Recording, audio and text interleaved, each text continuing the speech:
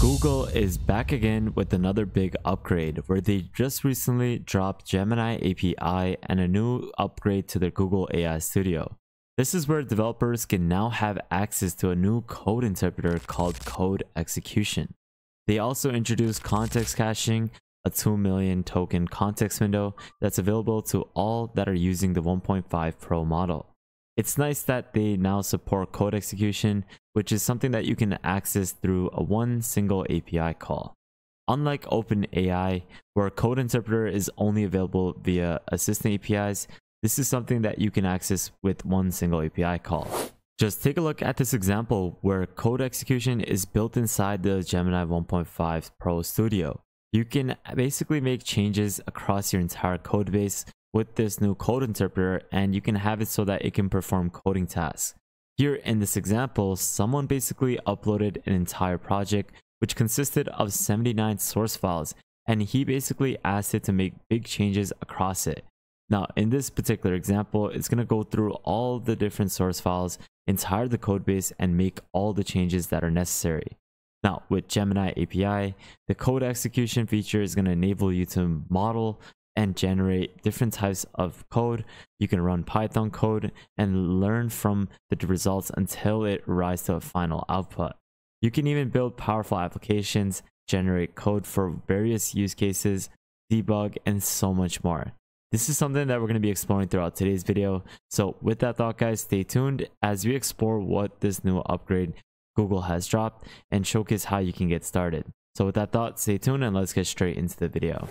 Now, before we get started, I'd like to introduce World of AI Solutions. This is a really big update that has been launched for my channel, and this is where I have compiled a team of software engineers, we have machine learning experts, AI consultants, and this is basically a team where we're going to be providing AI solutions for businesses as well as personal use cases where AI solutions can be implemented to automate certain things or to help business operations. Now, if you're interested, take a look at the Typeform link in the description below. So this was actually something that released a couple days ago and basically I want to highlight a couple things that they've dropped in this update because it's something that you should definitely keep an eye out for. This is the release of the Gemini 1.5 Pro 2 million context window. They introduced the code execution capabilities as well as Gemma 2 which is the new model. Now in this upgrade they were focusing on all of these different components that will enhance the Gemini models. Obviously, with the 2 million context window, you're going to now have access to a larger context window, which is going to significantly expand the amount of context the model can consider and generate. And it's going to allow for more complex and announced tasks. You have this code execution capabilities that have been introduced with the Gemini API, where it's going to support code execution that will enable the model to generate and run Python code. This is not just restricted to Python code, it will also be focusing on various other programming languages.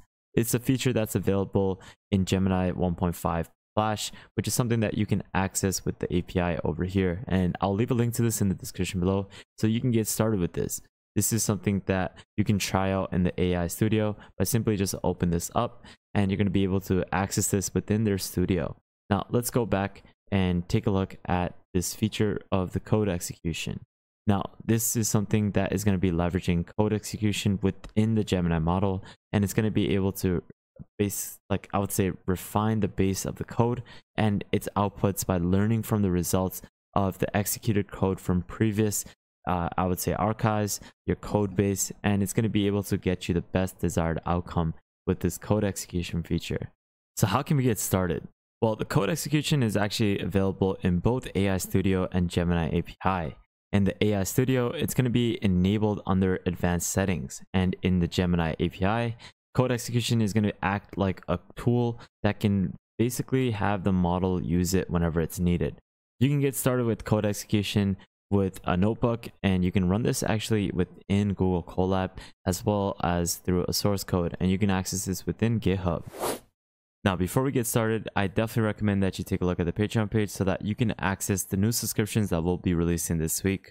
If you would like to book a consulting call with me, you can do so with the link in the description below as well. To enable this within AI Studio, what you can do is go over to advanced settings on the bottom right.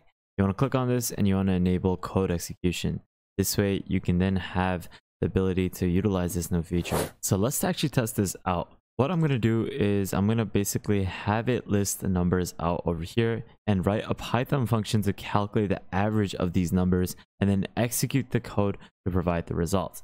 Now, the reason why I'm doing this is because it's going to ask the model to generate and run the Python code so that it can calculate the average of the list of numbers and it's going to demonstrate its ability to execute the code as well as providing the results based on its iterative learning. So this is the main feature behind code execution and you can see with a couple of seconds you're going to have this outputted and we can see it generated the right number which was 2 5 8 12 16 and it was able to provide the average which we see over here this is something that was correct and it's great that we were able to get this average of 8.6 within a couple of seconds. So in my next test, I'm going to have it generate a simple HTML template for a SaaS landing page.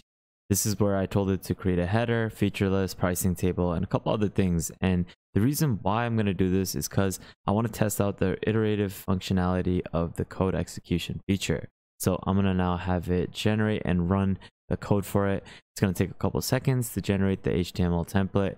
And this is where I'm going to have it copied and pasted within a live view HTML feed so that you can see the output. And there we go. We got the code and then I pasted it into an HTML viewer and we can see that it has generated the full on website, which has animations, a pricing plan, and certain components need editing, but we can see that it was able to generate this website within a couple seconds. Now, a lot of people may be confused between the difference of code execution and function calling, but these are two things that are available through the Gemini API and they handle computational tasks and each are different tools or tool sets that have distinct advantages. For example, starting off with the code execution, you can allow for the API to autonomously generate and execute Python code, and this is within a controlled backend environment. This is best for letting the API handle code tests autonomously. It's quite simple to set up and it's with a single API request. So this is something that will be used for a single charge. Whereas for function calling, what this is is that it runs through a requested function in your chosen environment. And it's something that is best for using custom functions or local setups. This is a process that is for more API requests and potentially used for multiple charges. So for choosing for which one you would want to go for, you would use the code execution for API handled Python tasks, which is why they incorporated code execution within their studio and they have it set for a specific use case where you would need to enable it or toggle it on for that specific use case to generate Python code. Whereas for using the function calling feature, you would want to use this for custom and local functions that are needed for your environment. One thing to note for billing is that there's no additional charge for enabling code execution for Gemini API. You'll be billed for the current rate input and output for token. So this is something that you would want to know if you're going to be utilizing this. And a couple limitations are is that the model can only generate and execute code. It cannot return other artifacts like media files. So just keep that in mind. But you can also have it so that it could be saved as a JSON file and you can set that up within Gemini AI Studio you have the ability or you don't have the ability that supports files with IO or uses cases that involve non-text outputs, for example, data plots. You have code execution that can run for a maximum of 30 seconds before timing out. In some cases, enabling code execution can lead to regressions in other areas of model output, for example, writing a story, which is obviously kind of true. You would only want to use this for Python generation. One thing that I thought would hinder the success of this is the maximum of only 30 seconds before timing out. This is something that would hinder the generation of longer context and long context meta generation. There is some variations in the ability of the different models to use code execution successfully. For example, you can use this with Gemini 1.5 Pro, and is the best performing model based off of their text testing of this feature. Now, you can also implement this within your SDK, so just keep that in mind and you can configure this based off the docs that I'll leave in the link in the description below.